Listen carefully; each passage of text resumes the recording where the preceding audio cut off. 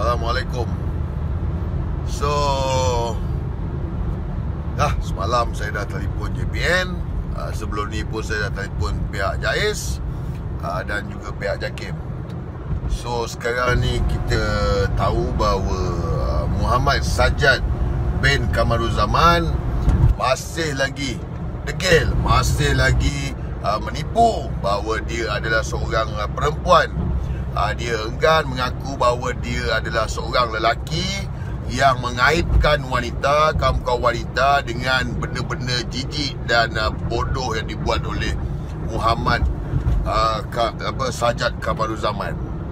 So uh, dalam masa beberapa hari ni saya banyak saya dapat lihat termasuk dengan uh, video uh, Sajad uh, berjoget uh, Bollywood uh, yang mana uh, dia telah memberi uh, panggil bangla dan uh, pegang titiknya. Walaupun bukan titik ori tetapi ini jelas uh, mengaibkan uh, kaum wanita. Sebab benda-benda macam inilah yang sebenarnya yang kita marah dan kita geram dengan sajak ni. Dia rasa dia hebat dia rasa dia banyak duit dia rasa dia orang kaya dia boleh uh, suka-suka mak bapak dia uh, dia dah buat dekat Malaysia dia macam-macam. Dan dia kena ingat dia kena ingat kita masih lagi rakyat Malaysia ni belum sampai peringkat yang lebih gila eh. Dan what's that apa lagi lepas ni? Apa lagi lepas ni?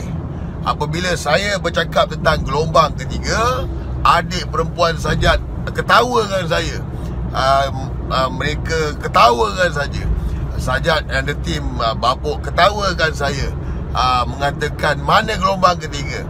Gelombang ketiga ni memang dah berjalan Sajad. Sekarang dah masuk ke level keempat Gelombang yang keempat. Dan gelombang ini tidak akan berhenti Selagi kau terus uh, menipu rakyat Mengaibkan wanita Dengan mengata bahawa kau adalah seorang wanita. Jadi kita akan tengok Seterusnya Apa bengkel seterusnya. Dan ingat pihak JPN uh, akan mengeluarkan kenyataan dan tengok saja eh. Tolong sampaikan kepada Muhammad Sajad bin Kamaruzaman hari ni kita baca surat khabar di Aceh. Manyah dipotong rambut. Dan jangan lupa jangan jangan ingat benda Malaysia pun tak boleh buat. Kita boleh buat. Kita boleh buat dan kita boleh desak orang untuk buat. Tetapi kita masih ada peri kemanusiaan kita masih ada uh, tata cara yang elok yang mana kita bagi nasihat lebih dahulu. Sajad, puncanya adalah kau, bapuk-bapuk lain, ponan lain semua mengaku mereka lelaki, kau lah satu-satunya yang mengaku kau tu perempuan.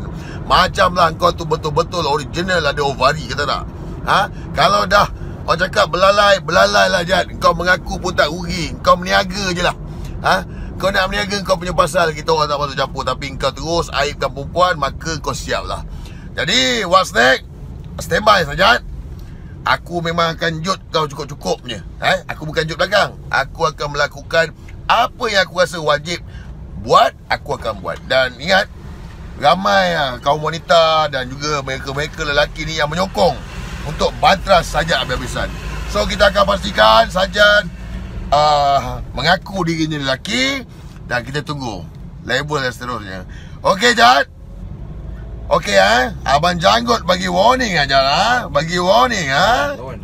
Lawan je, lawan. Assalamualaikum.